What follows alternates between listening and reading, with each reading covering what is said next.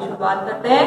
जिसमें मैंने आपको बताया था कि इस चार्ट में हम इंटरनल एनवायरमेंट और एक्सटर्नल एनवायरमेंट का क्लासिफिकेशन को समझें ये क्लासिफिकेशन इस तरीके से है कि फ़र्स्ट ऑफ़ ऑल आते हैं हम इंटरनल एनवायरमेंट इंटरनल एनवायरमेंट में अगेन जिन्होंने पिछला लेक्चर अगर नहीं अटेंड किया या पिछला लेक्चर वो नहीं देख पाए हैं तो उनके लिए मैं बता दूँ कि इंटरनल इन्वायरमेंट में जितने भी फैक्टर्स हैं, वो कंट्रोलेबल फैक्टर्स हैं और उसे बिज़नेस या उसे कंपनी या फर्म अपने कंट्रोल में रखती है या कंट्रोल कर सकती है। ठीक है? तो उसे हम कंट्रोलेबल फैक्टर्स कहते हैं। इंटरनल इन्वायरमेंट के अंडर में आने वाले जितने भी फैक्टर्स क्लियर अब वन बाय वन हम ये समझते हैं कि उसमें कौन कौन से फैक्टर्स आ रहे हैं जिसे हम कंट्रोल कर सकते हैं आपको नहीं समझ में आएगा। जब इसको एक्सप्लेन कर देंगे तो आपको क्लियर हो जाएगा कि हाँ ये फैक्टर्स किस तरीके से हम कंट्रोल कर सकते हैं। पहला है फिनेंशियल रिसोर्सेज फिनेंशियल रिसोर्सेज सबसे पहला, जब हम कंपनी की शुरुआत करते हैं तो हमको कैपिटल की ज़रूरत होती है, हमें फाइनेंस की ज़रूरत होती है। एक बड़ी कंपनी डालने वाला व्यक्ति सारा पैसा अपनी जेब से कभी नहीं लगाता है। क्लियर वो कभी ना कभी उसको लोन देना पड़ता है। क्लियर फिनेंशियल रिसोर्सेज ऐसे हैं कि इसका अगर यूटिलाइजेशन मान लीजिए हमने लोन ले लिया दस लाख का and now we are very happy अरे मुझे दस लाख का लोन मिल गया मेरी कंपनी बहुत अच्छे से चल जाएगी और आई नो मुझे कोई फंड की ज़रूरत नहीं है और uh, मेरे को अब पैसे की दिक्कत नहीं रहेगी। अगर ये सोच लिया गया बिज़नेस बिजनेसमैन ने तो वो फर्म को कभी भी अच्छे से नहीं रन कर पाएगा। जितना भी पैसा उसने लोन पे लिया है उसका विद इंटरेस्ट उसको पे भी करना है। और प्लस अपना प्रॉफिट भी उस बिज़नेस फॉर्म से निकालना। है फ़र्स्ट ऑफ़ ऑल उसको ये बात सबसे ज़्यादा दिमाग में रखनी चाहिए। तो फिनेंशियल रिसोर्सेज हमारी स्ट्रेंथ भी बन सकता है। अगर हमने उसको अच्छे से यूटिलाइज किया यूटिलाइज करने का मतलब कि जो भी लोन लिया, उसको अच्छे से यूटिलाइज किया, पूरा साइकिल बनाया, उससे अपना प्रॉफिट भी गेन कर लिया, अपने वर्कर्स की सैलरी भी हमने निकाल ली, और प्लस अपने कुछ मेंटेनेंस के जो खर्चे होते हैं, वो भी हमने निकाल लिए। और साथ ही साथ अपना लोन भी रीपे कर दिया। तब मानेंगे कि फाइनेंशियल रिसोर्सेस हमारी स्ट्रेंथ बन गया। लेकिन अगर यही चीज़ सही से यूटिलाइज ना की जाए, मान लीजिए हमने कुछ सोचा कि नया जो है इक्विपमेंट ले लेते हैं, नई अपॉर्चुनिटी या कुछ नया मार्केट में आ रहा है, उसको एडॉप्ट कर लेते हैं, बिना अपने बजट और बिना अपने फाइनेंशियल रिसोर्सेज की एनालिसिस किए बिना तो ये चीज़ हमारी आगे चल के वीकनेस बन सकती है। कैसे बन सकती है? मान लीजिए अगर जो हमने अपॉर्चुनिटी नहीं ली या नए मार्केट में जो भी हमारी प्रॉब्लम आ रही है, जो भी हमारी नए मार्केट में जो भी हमारी अपॉर्चुनिटी आ रही है, उसको हमने अच्छे से एनालाइज नहीं किया रिसर्च नहीं किया और उसको हमने एडॉप्ट कर दिया। तो अगर वो सक्सेस हो जाता है तो वो हमारी स्ट्रेंथ बन जाएगा, हमारे लिए प्रॉफिट गेन करेगा। बट अगर वो सक्सेस नहीं होता है मार्केट उसको अडॉप्ट नहीं करता है मार्केट का अडॉप्ट करने का मतलब क्या है? कस्टमर अडॉप्ट नहीं करता है। कस्टमर को नहीं समझ में आता, उसको नहीं अच्छा लगा प्रोडक्ट तो वही चीज़ आपकी वीकनेस बन जाएगा, क्योंकि उसमें जितना भी पैसा आपका लगा होगा, जो भी कॉस्ट आएगी, वो हमारी डूब जाएगी और हमें हमें पूरा जिस हिसाब से हमने सोचा था, उस हिसाब से हमको प्रॉफिट गेन नहीं होगा। पहली चीज़ फाइनेंशियल रिसोर्स दूसरी चीज़ आती है हमारी physical and human resources physical and human resources भी हमारे स्ट्रेंथ भी है, ये भी हमारे कंट्रोल में है। These are manpower human resources क्या है? It is man power man power क्या है? कि हम फॉर्म जब शुरू करते हैं तो हम उसमें कई तरीके के वर्कर्स रखते हैं।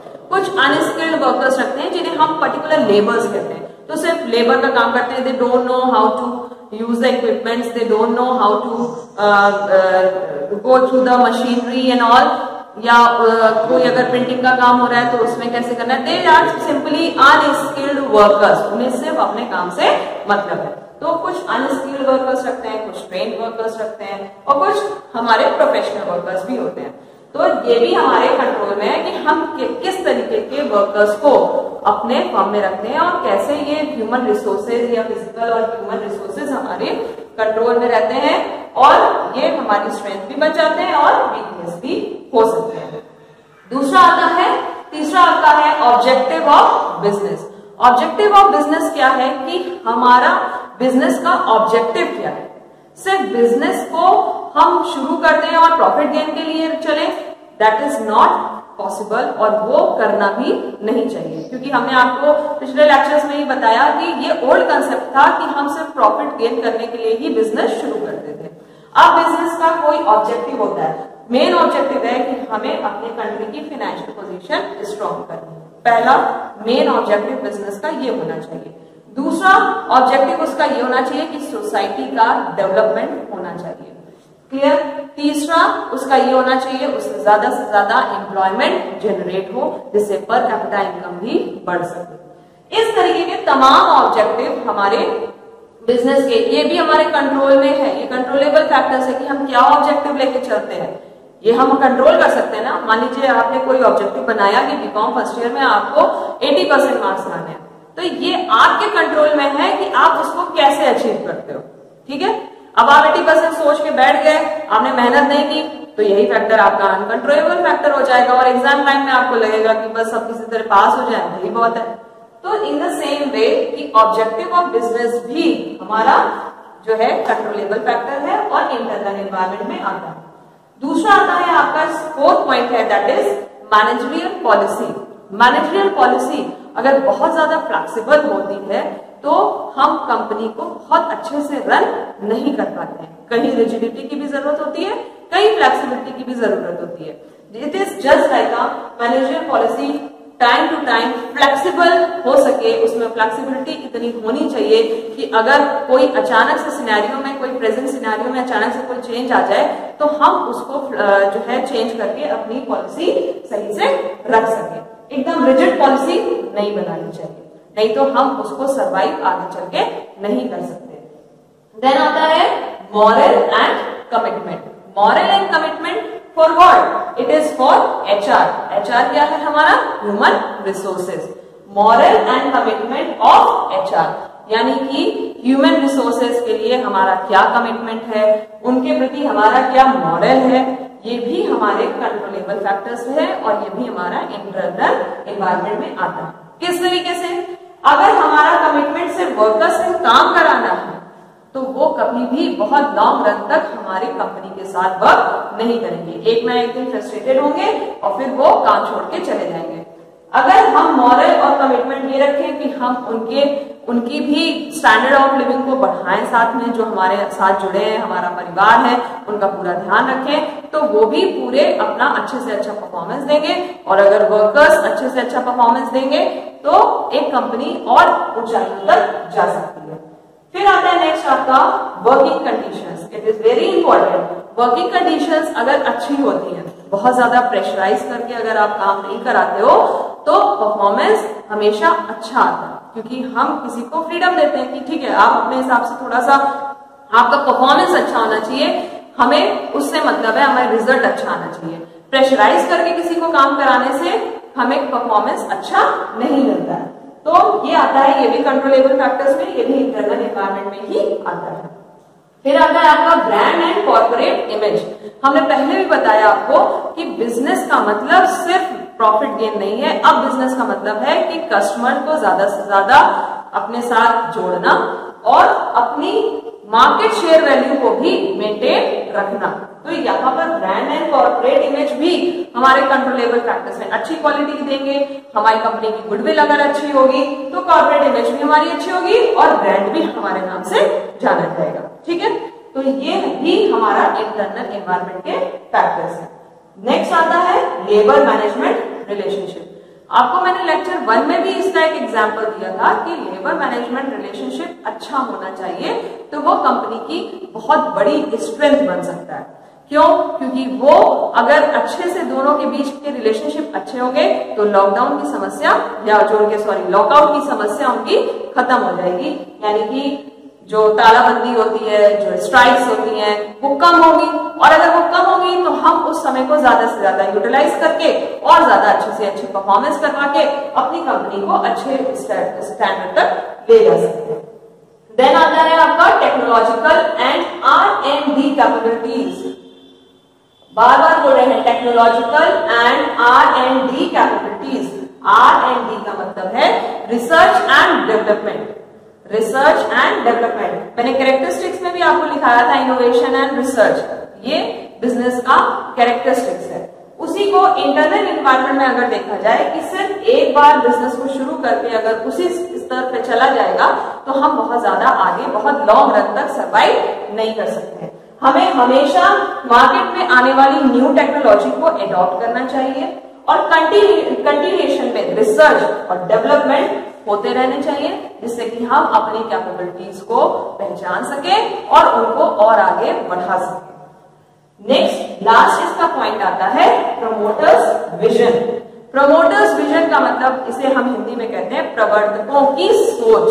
प्रवर्तकों की सोच का मतलब अगर हमारे जो ऑफिसर्स हैं या जो बोर्ड ऑफ़ डायरेक्टर्स हैं, उनका विजन अच्छा होगा, सोच अच्छी होगी या दूरदर्शी होंगे तो वो कंपनी में या फर्म में आने वाले थ्रेट को या अपॉर्चुनिटी को पहले से एनालाइज कर सकते हैं और उसको अपने लिए उस हिसाब से यूज़ कर सकते हैं।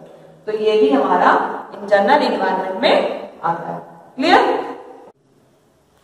फिर आता है इसी के आगे external environment these are uncontrollable factors इसको हमने अगेन टू पार्ट्स में डिवाइड किया है. दैट इज़ माइक्रो और ऑपरेटिंग इन्वायरमेंट और दूसरा है मैक्रो और जनरल इन्वायरमेंट बहुत ही ध्यान से इस चीज़ को और बहुत ही केयरफुली आप इसको क्लियर कर लीजिए कि माइक्रो को ऑपरेटिंग क्यों कहते हैं और मैक्रो को जनरल क्यों कहते हैं। ठीक है? इसके दो नाम क्यों रखे हैं? किसी भी, इसीलिए नाम जो रखे जाते हैं, उसका कोई ना कोई मतलब होता है। क्लियर तो माइक्रो और ऑपरेटिंग इन्वायरमेंट और मैक्रो और जनरल इन्वायरमेंट तो माइक्रो और ऑपरेटिंग इन्वायरमेंट का मतलब है कि इन फैक्टर्स ये सारे फैक्टर्स हमारे ऑपरेटिंग फैक्टर्स में आते हैं। यानी बिज़नेस जिनके थ्रू ऑपरेट होता है। बिज़नेस जिनके थ्रू ऑपरेट होता है इसलिए इसे हम माइक्रो या ऑपरेटिंग एनवायरमेंट कहते हैं।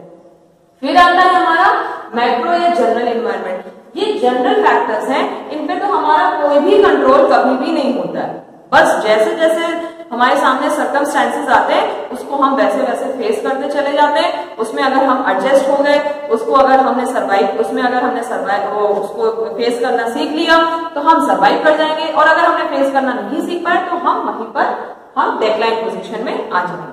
क्लियर जैसे कि अभी आपके सामने पैंडेमिक की जो एक सिचुएशन आई ये किसी ने नहीं सोचा था कि हाँ इस तरीके की सिचुएशन आएगी, सारे बिज़नेस बंद हो जाएँगे लॉकडाउन हो जाएगा। लेकिन हमने ये सारी सिचुएशन फेस की, या हम ऑनलाइन पढ़ाई के थ्रू जाएँगे ये कभी किसी ने नहीं सोचा था। लेकिन अगर हमने इसको एडजस्ट नहीं किया तो यहीं से हम डेडलाइन हो जाएँगे। और अगर हमने इसको एडजस्ट कर लिया, इसको एडॉप्ट कर लिया तो हम लॉन्ग रन के लिए सर्वाइव कर सकते क्लियर तो माइक्रो और ऑपरेटिंग एनवायरमेंट है। कि जिसके थ्रू हमारे बिज़नेस ऑपरेशंस कंडक्ट होते हैं, जिसके थ्रू हमारे बिज़नेस ऑपरेशंस होते हैं। इसमें कौन कौन से फैक्टर्स आते हैं? नंबर वन है हमारा सप्लायर्स जिसे हम हिंदी में पूर्तिकर्ता कहते हैं, ठीक है? जिसे हम हिंदी में पूर्तिकर्ता कहते हैं। सप्लायर्स वो होते हैं जो कि हमें रॉ मटेरियल सप्लाई करते हैं। अगर हम एक सप्लायर पर डिपेंड रहेंगे तो ये हमारे लिए सही नहीं होगा। हमें हमेशा मल्टीपल सप्लायर्स रखने चाहिए। क्यों? अगर एक सप्लायर है, अगर वो फुल्ली रिलायबल है तो तो आप अगर अपना स्टॉक कम रखेंगे तो आपकी कॉस्ट कम आएगी। लेकिन अगर वो रिलायबल नहीं है तो उसकी वजह से आपको स्टॉक ज़्यादा रखना पड़ेगा और आपकी कॉस्ट भी उसकी वजह से बढ़ जाएगी। तो इसलिए सप्लायर्स का मल्टीपल होना हमेशा ज़रूरी होता है। क्योंकि मान लीजिए किसी सप्लायर के साथ एज अ ह्यूमन बींग क्योंकि वो भी ह्यूमन बींग है, उसके साथ भी कोई समस्या हो सकती है। अगर वो सप्लाई नहीं कर पाता है तो हमारा कंपनी का जो ऑपरेशन है, वो अफेक्टेड नहीं होना चाहिए। इस वजह से हमें हमेशा मल्टीपल सप्लायर्स के थ्रू चलना चाहिए।